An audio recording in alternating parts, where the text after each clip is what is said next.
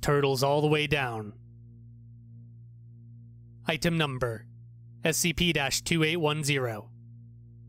Object Class Euclid. Special Containment Procedures Cultures of SCP 2810 are contained in vacuum sealed glass flasks in the Site 42 Infectious Materials Lab.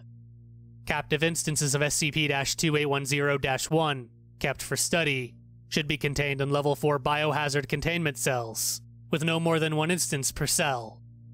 Mobile Task Forces Beta 7, Maz Hatters, and Lambda 12, Pest Control, are tasked with investigating and neutralizing all wild instances of SCP 2810 1.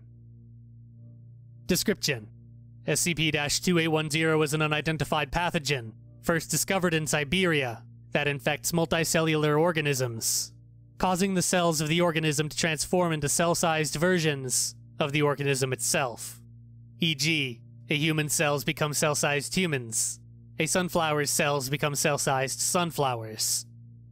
These composite organisms attempt to carry out the bodily functions of the original cells in an analogous manner. For example, human lungs are composed of actual humans that inhale and exhale, while plant leaves are composed of smaller, wilted plants, arranged and folded in such a way that only their leaves are exposed to sunlight. Microscopic examination reveals that these cellular sized composites are themselves composed of exponentially smaller composites, carrying out their bodily functions, which in turn are composed of smaller copies, and so on. Composites do not respond to any external attempts at communication, despite replicating cell signaling of their host organism. Despite the size of the composites, precluding cellular function in many cases, such as gas exchange, infected organisms, termed SCP 2810 1, and their composites are able to survive and reproduce, albeit in extremely poor health.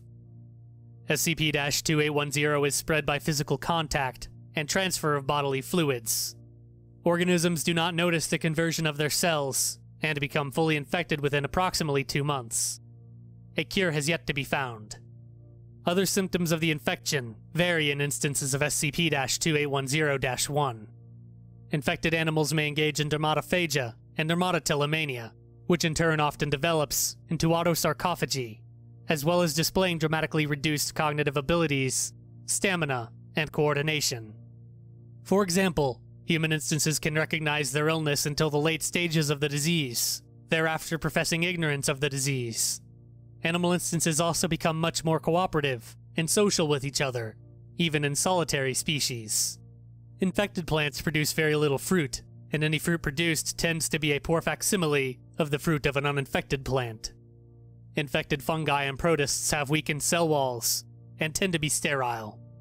However, despite being in poor physical and mental health, instances of SCP 2810 1 become totally immune to all other known diseases, mutagens, and toxins, and have drastically increased lifespans. Addendum Incident 2810 2. On blank, Mobile Task Force Lambda 12 encountered a mosquito with a wingspan of 10 meters, preying on a herd of zebras in Africa. It was not deterred by traditional insect repellent measures and attempted to feed on the task force. Lambda 12 used flamethrowers to kill the creature, which was found to be composed of millions of SCP 2810 1 instances.